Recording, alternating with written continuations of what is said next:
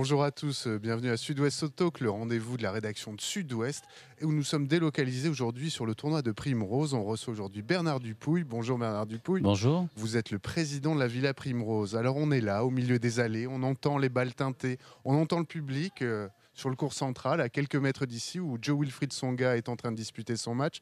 Bref, une édition qui se présente sur les meilleurs auspices, dirons-nous. Et c'est là ma première question, Bernard Dupouille. Comment se présente ce millésime 10 2019 de Primrose?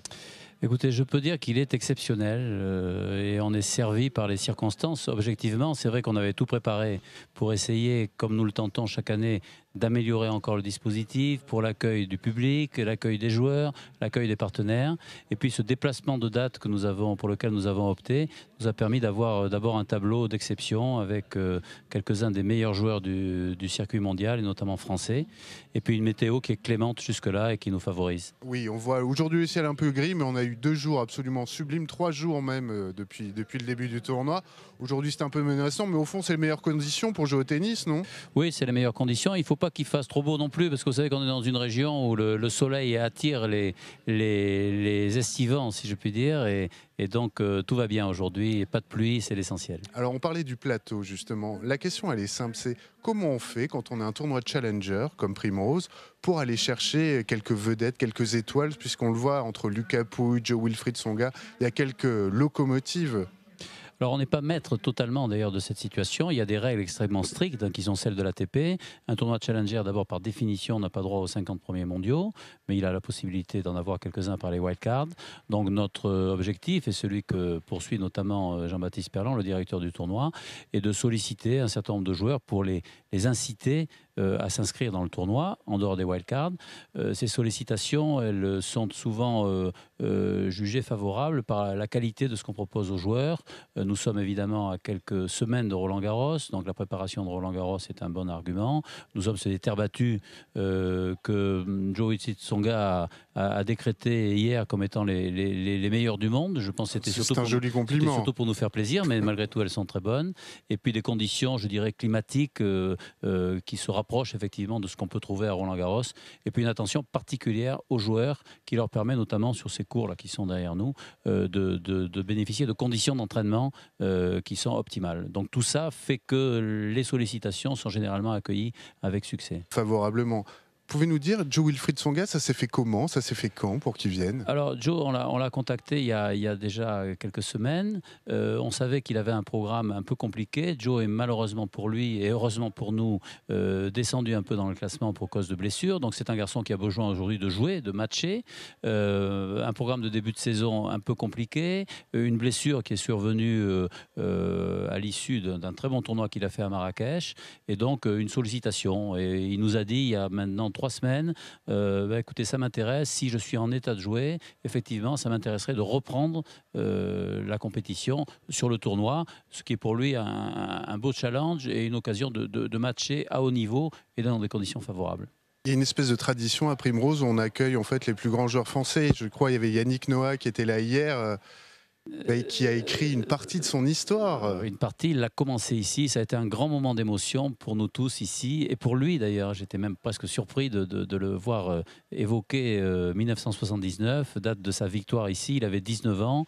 Euh, il était un jeune joueur. Il a battu à cette époque-là un top 10 qui était un, un crocodile des cours, Harold Solomon. Et il a conservé une mémoire extrêmement précise. Il m'a raconté l'anecdote de sa montée dans le vestiaire, le vieil escalier en bois de la Villa Primrose, les casiers, euh, ses copains de, de, de, de cours à l'époque. Et euh, c'est vrai qu'on a eu la chance, l'opportunité, et c'est un peu aussi notre vocation, on essaye de la, de la, de la faire euh, se poursuivre, d'accueillir ici les plus grands joueurs du monde. On les a quasiment tous eus au fil des années.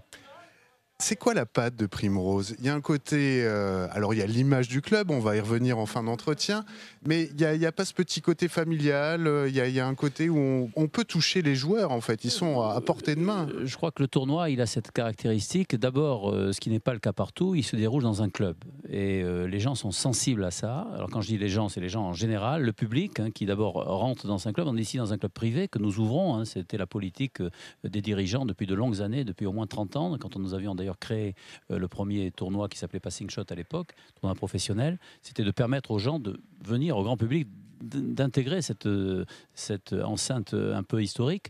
Et c'est vrai que cette proximité des joueurs, euh, qui sont quelquefois sur les grands tournois internationaux enfermés un petit peu avec des, de, de, de, la sécurité autour d'eux, euh, ils sont euh, captés très facilement par le public. Les, ce qui est le plus apprécié ici, je crois, finalement, au-delà des matchs, c'est les séances d'entraînement. Les séances d'entraînement qui se déroulent sur les cours derrière nous, elles sont ouvertes à tous et nous sommes tous, puisque je fais partie aussi des fans, à quelques mètres des champions et ça, le public adore ça. Alors le public y répond présent, la fréquentation est au beau fixe pour, pour cette édition. Il reste des places pour la fin de semaine? Mm, C'est très compliqué. C'est très compliqué. On, a les soucis, enfin c'est des soucis que j'aime bien, on a les soucis de gérer l'affluence, effectivement. La journée d'hier était une journée exceptionnelle. Vous savez que dans tous les tournois du monde, la journée du mercredi est celle qui était dévolue aux enfants. Nous avions accueilli hier plus de 2000 enfants venus de, tous les coins, de tous les coins, non seulement de la Gironde, mais de la Nouvelle-Aquitaine. On a des accords à ce titre avec la Ligue de tennis de Nouvelle-Aquitaine. Des bus euh, venant du Lot-et-Garonne, de Dordogne, euh, du Pays Basque et de partout. Et euh, évidemment, on remplit, notamment à cause de la fréquentation. C'est vrai que le 1er mai aussi, en milieu de semaine, est un jour qui nous, a, qui nous a favorisé. Et puis la météo qui s'en mêle. Donc je dirais que jusque-là, je touche du bois, toutes les planètes sont alignées. On espère que ça va rester jusqu'au bout. Alors pour les malheureux qui ne pourront pas trouver de place, je rappelle que TV7 diffusera les demi-finales et les finales qui seront commentées en direct sur notre antenne et qu'on retrouvera également sur sudouest.fr. Donc, ciel bleu sur un horizon radieux pour ce tournoi. On parlait tennis, mais on ne fait pas que du tennis à Primrose. On est aujourd'hui euh, jeudi, c'est la journée business, c'était match. Expliquez-moi un petit peu, la volonté du tournoi, c'est quoi? C'est de s'ouvrir aux questions à la société, à la société civile, à la ville? Alors, il y, a, deux intérêts, je dirais, un, intérêt d'organisation. On a vite compris que pour euh, pouvoir euh, pérenniser ce modèle économique, il fallait qu'on dépasse le simple stade commercial d'une billetterie ou de, des accueils traditionnels qui sont ceux qu'on retrouve dans le tournoi avec des loges, des, déjeuners qui, sont effectivement des recettes nécessaires pour nous permettre d'arriver à organiser tout ça. et donc, on a créé depuis, quasiment l'origine ces rencontres qui ont pris des, tournures différentes au fil des années, des formats un peu différents. Mais c'est vrai qu'on est en contact avec ce, monde économique, euh, j'allais dire quasi régional, en tout cas euh, métropolitain pour le moins, euh, qui nous permet effectivement d'accueillir ici beaucoup d'entreprises. Et on s'est vite aperçu par nos réseaux, par nos relations avec les entreprises, par nos relations avec le monde du vin également, que euh, cette semaine de Primrose devenait assez vite euh, euh, the place to be et les, les, rencontres qui se font dans cet environnement sont très fructueuses pour tout le monde. Oui, on le voit aujourd'hui, cette journée business, cet match a rassemblé beaucoup de monde. Il y a le business, évidemment, qui est une dimension importante, puisqu'on le voit, il y a des relations cet après-midi qui se jouent en B2B, mais aussi d'autres questions que vous abordez, on va dire un peu plus sociétales. On a en face de nous euh, Thomas Jérémias, qui est euh, quadruple champion olympique de, d'Andy Tennis. C'est aussi une volonté d'ouvrir à des problématiques de société pour Bien sûr, euh, ce, ce, club a toujours voulu être un club citoyen. Alors il est citoyen par son ouverture, je l'ai évoqué tout à l'heure. Il est citoyen aussi parce qu'il permet effectivement à, à, tous ceux qui, s'intéressent au-delà du tennis à ce qui se passe ici, euh, à pouvoir euh, échanger sur des thématiques euh, différentes. C'est vrai qu'on donne depuis deux, saisons déjà une place particulière au, handisport, hein, et ce qu'on appelle dans notre fédération française de tennis le tennis fauteuil, mais il y a d'autres sujets d'ordre sociétaux que nous avons effectivement eu l'occasion d'aborder et qui permettent de faire de cet événement autre chose qu'une simple compétition sportive. C'est aussi notre vocation et c'est le, souhait également de la Villa Primrose de s'intéresser euh, au-delà effectivement des, frontières du jeu. Euh, l'une des caractéristiques aussi, c'est le caritatif. voilà, il y a une, vente aux enchères, je crois, hier, par les une vente aux enchères avec l'association Faites le Mur, l'association de Yannick Noah, hein, qui nous permet de venir en aide aussi à ces quartiers défavorisés euh, que, auxquels s'intéresse particulièrement cette association. Donc plusieurs causes, en fait, vous servez plusieurs causes autour de la balle jaune. On essaye, on essaye. Hein. On ne prétend pas être euh, exhaustif dans ce domaine-là, mais comme je l'ai dit euh, il y a un instant, nous voulons véritablement que ce tournoi soit davantage encore qu'une compétition sportive. Alors demain, je crois que c'est la journée des femmes, demain vendredi. Aussi, euh, c'est une tradition également. Le vendredi, on l'a toujours, c'est un tournoi masculin. les circuits, vous le savez certainement, sont aujourd'hui séparés. Il y a un circuit masculin et un circuit féminin c'est pas ce qui se passe dans les grands chelems. Nous, nous sommes évidemment sur un circuit masculin, mais on voulait aussi qu'il y ait une place qui soit réservée aux femmes. Et c'est la, tradition de cette journée du vendredi où nous accueillons des championnes et où il y aura des démonstrations également de tennis féminin avec quelques espoirs euh, euh, bordelais et primrosiens notamment. D'accord, primrosien. Alors justement, on parlait de Primrose. La Villa Primrose. Euh, jouit d'une aura un peu singulière dans cette ville. Faisons un peu d'histoire. De quand date ce club? Quand est-ce qu'il est né? Comment il a existé? Comment il a traversé les siècles? Je crois qu'on a fêté les 122 ans. Alors écoutez, on a fêté les 120 ans en, 2017, donc il y a deux ans. Ce club est né euh, en 1897. Ce qui est assez d'ailleurs étonnant, c'est qu'il est né ici même. Hein. Beaucoup de clubs, il y a beaucoup de clubs centenaires en France et, dans le monde. Nous appartenons d'ailleurs à une association qui s'appelle le Centenary Tennis Club, les clubs centenaires de tennis. Euh, beaucoup dans la région euh, Dans la région, il y en a assez peu. Le Stade Bordelais euh, est évidemment un club également qui a des origines centenaires, mais qui n'a pas forcément les mêmes caractéristiques que nous. Euh, et il y a dans le monde aujourd'hui environ 70 euh, clubs qui appartiennent à cette association, qui nécessite aussi, outre le fait d'être centenaire, de, porter un certain nombre de valeurs et d'organiser des compétitions internationales.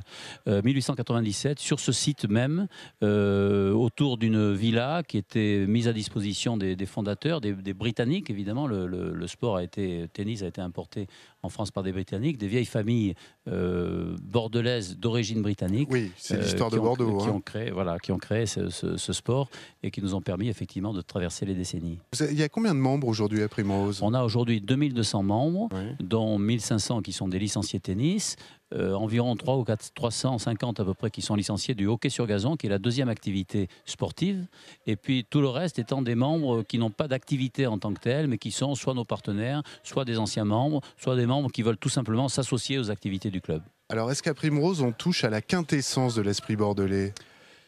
Euh, Je ne sais pas répondre très précisément à cette question, mais je crois un peu, puisque nous, on est d'abord très attaché à la tradition qui est euh, celle d'abord de notre sport, avant tout, euh, et avant toute chose. Vous avez évoqué tout à l'heure le, fait que ce club a été fréquenté par des très grands joueurs. On a toujours eu des grands joueurs issus du club. Euh, je veux parler de la famille Geoffrey, bien évidemment, François Geoffrey et, ses frères qui ont été des, grands joueurs de, la Villa Primrose, Patrice Dominguez, plus récemment Michael Laudra ou Jérémy Chardy, qui sont des, joueurs de, tout premier rang qui ont fréquenté le club. Et puis, un certain mode de fonctionnement dont les, points communs, le point commun est essentiellement l'attachement au club. Ici, nous sommes non pas des, clients, non pas des adhérents du club, mais des membres du club. Et c'est quelque chose qu'on porte euh, en nous, euh, avec la fierté aussi d'appartenance aux couleurs, aux maillots, euh, et qui traverse les générations et qu'on essaye d'inculquer à nos jeunes en permanence. Alors on parle du réseau d'influence de Primrose qui est très puissant, qui ferait partie des 20 réseaux les, plus, les plus efficients en France. Vrai ou faux?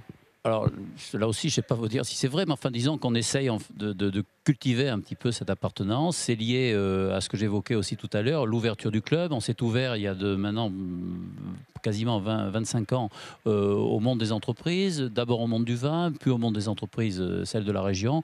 Et ça nous permet effectivement d'organiser en permanence des animations vers ce, cet écosystème local et qui fait qu'on se trouve bien ici, les gens échangent, se rencontrent pour jouer au tennis, se rencontrent pour déjeuner, se rencontrent pour l'une des animations qu'on euh, exécute ici, euh, se rencontrent autour du tournoi. Et c'est vrai que ça contribue à, ce système de, réseau dont on dit qu'il est, qu'il est effectivement assez, assez efficace. Alors une dernière question, il nous resterait peu de temps, est-ce que c'est une colle? Mais de quoi Primrose est-il le nom, Bernard Dupouille? Alors pour les, pour les anglophones, euh, Primrose, ça veut dire prime vert en anglais. Ça ne prend pas de E, je le dis bien. Quelquefois on dit primrose parce que c'est le, à Bordeaux, on aime bien rajouter du E. Et en fait, euh, ce club était euh, entouré, vraisemblablement, quand il est né en 1897, on était ici à la campagne, d'un champ de primes vert. Et euh, nos, fondateurs ont baptisé cette villa la villa Primrose, du nom des fleurs qui les entouraient. Et ce nom s'est perpétué jusqu'à aujourd'hui. Écoutez, Bernard Dupouille, merci beaucoup de nous avoir accordé quelques instants.